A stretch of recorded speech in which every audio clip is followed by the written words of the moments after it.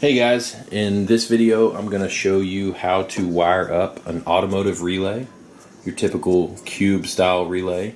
Sometimes they'll come with this wiring harness that you can plug into the base of the relay.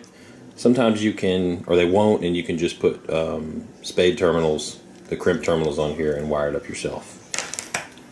So if you're not familiar with a relay, basically all a relay is is a switching device that allows you to separate voltage uh, if you have a circuit that doesn't have a lot of current, you can use that to switch another circuit that has the current you need to supply to a device. It's a way to not have to do, have a large current supply um, running, let's say, into your cabin to a switch and then back out to a light or some sort of accessory that'll draw a larger amount of amperage. So this relay is rated to 20 amps. It's a 12 volt relay. You can see on the base of the relay we have all of our terminals here, which I'll show you how they're labeled here in a second. And then we have a wiring diagram. You can see there, it probably won't focus. There you go, we have a wiring diagram for the relay. So in a typical relay circuit, you'll have a few different things. Number one, you will have a coil circuit, which in an electrical drawing sometimes will look like this you'll have the positive side of the coil and the negative side of the coil. The positive side will be hooked to your switch. You'll run from your voltage source here and you'll run into your switch and then when your switch makes it provides power to the coil and your negative side of the coil will go to a zero volt reference or ground and this will obviously be your 12 volt. So that's the coil circuit of a relay. And then you'll also have what they call contacts, which look like this on a drawing, or sometimes they look like this. And what that is, that is the actual circuit that you're going to be controlling with the coil. So if your coil switches the circuit, this is the circuit that it will switch. And there's two different types of contacts here. You'll see a normally open, which is what this is, and then you'll see a normally closed. And the difference is the normally open circuit or contact set will not be connected in its normal state. And its normal state meaning that there's no forces being applied to the relay. So in its normal state, that circuit will be open or disconnected. A normally closed contact circuit will be connected in its normal state. So to explain that simply, when you apply power to the coil, a normally open circuit will make and send power through. And when you apply power to the coil, a normally closed circuit will actually break and stop voltage from going through. So that's your typical circuits that you'll see on a relay. Another way that they're shown is you'll see on an automotive relay, you'll see a device that looks like this. That's your coil circuit. And then you'll also see something that looks similar to this. And then you'll have going to one side will be your normally closed circuit, the side that it is touching, and the side that it's not touching will be your normally open circuit.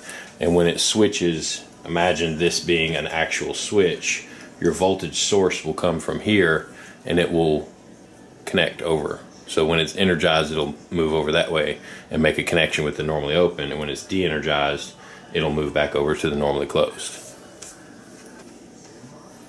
So on a standard automotive relay, like this one here, you'll see there are five terminals. You'll have two on the top You'll have one below. You'll have one to the left and one to the right. And that's a traditional automotive relay. So you'll have one labeled 30, which will be this one down here. Then you'll have 85. You'll have 87. And you'll have 87A and 86. And if you look at your drawing of your circuit diagram on the relay, you can piece this together and see that this is the coil. And coming off of the coil, you'll see 86, 85 off the top of the coil. And then beside the coil, you'll actually see 30 that will go up and connect via normally closed circuit to 87A and then you'll see the normally open circuit of 87. So this is your typical circuit diagram that you'll see on the side of an automotive relay. And then that is your actual pin configuration on the underside of the relay, just like that. So what this tells you is if you want to figure out where the coil is, you're going to be on pins 85 and 86. And if you want to figure out where your voltage is, you'll be on pins 30, 87A, and 87, depending on what type of circuit you want to use. So now that we understand this, let's apply that to a typical circuit in which you'll use an automotive relay. Let's say you have a set of lights in your car. You have light and another light. And they're auxiliary lights, and you want to power them, but you don't want to hook them directly to your battery because then they'll always be on. And you don't want to run the battery voltage into your car and then back out to the lights because it's a very heavy current draw and you don't want to run that heavy of gauge of wire in and out of your car. What you can do, you can pull off of, let's say, your headlight switch that's existing. We'll call that your headlight switch that's existing. And then this will be your voltage supply for your battery. So what we'll do here is we'll use the headlight switch to actually switch the auxiliary lights and we'll use the battery supply to power the auxiliary lights. So from your headlight switch you'll find the hot wire or the wire that sends voltage when the switch is on and you'll actually wire that to the coil of your relay. The other side of the coil will go to a negative or zero volt, or some people call it a ground reference. And if we look at the terminations on the bottom of the relay, you'll see that 86 is the pin that you will hook to from your voltage source of your headlight switch, and 85 is your ground reference for your coil. So what that means is when you turn on your headlight switch, it applies power to the coil of the relay and because you have a ground reference on the other side, that relay will actually click or engage, the coil will draw in and make the circuit inside of the relay. So now that controls the actual relay. Now let's get the voltage to the auxiliary lights. So on your auxiliary lights, you'll obviously have a positive wire and a negative wire, or a red and a black wire. Your negative wire will simply go to a ground. You can run it straight out, bolt it to a chassis ground or some sort of metal on your truck or car that you'll want to uh, have cleaned and prepped so that it'll make a good connection. Obviously, your battery will already be connected to ground, so coming out of your battery, it will already be connected to the ground, and that's where your lights will be able to make a connection back to the battery if you connect them to a chassis ground or some metal point on your vehicle. Now your positive, I'm going to show you two different ways of wiring these and show you the reactions of, of what happens when you wire them the different ways. The first way is via the normally open circuit, which would be pin 30 and pin 87. You can see there pin 30 and pin 87 on our relay. So through the normally open circuit, we'll take our positive voltage from the headlights and we'll come out to the relay and we'll connect that to pin 30. Pin 30 is our voltage source. From that, we'll connect to, on the other side of the relay, to pin 87.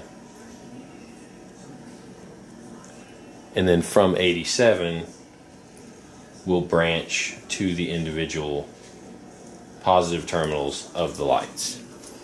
And with this type of circuit here, and we'll show this being normally open, meaning the switch is not in contact with the circuit. When the coil energizes here, when you flip your headlight switch, the coil energizes and draws this normally open circuit in and makes a connection between 30 and 87, sending your battery voltage directly to your lights so you have enough current to supply the demand that the lights have. Now let's, and what that does is when the switch is on, the lights are on. If you want it to be opposite, we would wire the normally closed circuit. We would still bring the voltage into pin 30, but instead of pin 87, we would actually run it to pin 87A. And you can see how it's normally closed. And then 87A would go out to your light source. What this means is when your coil is not energized, meaning your headlight switch is not on, your headlights actually will be on because they have a closed circuit to the battery. When you energize the coil by turning your headlight switch on, it actually breaks the connection between 30 and 87A, which will turn your headlights off. So that's the difference between normally open and normally closed on your relay circuitry. So there you have it. I hope that helped you understand a little bit about how these 12 volt automotive relays work.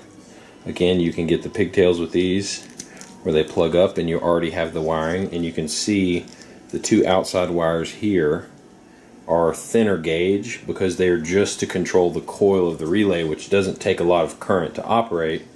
However, it allows power to cycle between these three wires here which you can see are a much larger gauge to support. I think these are 12 gauge wires which will support 20 amps on this automotive circuit.